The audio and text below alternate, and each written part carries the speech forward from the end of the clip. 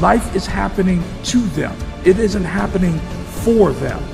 Make life work for you.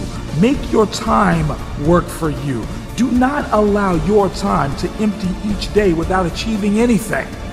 Go into the world today and spend your time wisely. Make small wins every day that will lead you down the path to success. Motivation gets you started, but habit will keep you going. Motivation is great. It is like a coffee in the morning. It gets the engine going and gets you moving, but it is a habit that will develop your success. You have the potential today to be special. Every second that passes now is the opportunity to succeed. Succeed into something worthy, something with the power to change, to adapt.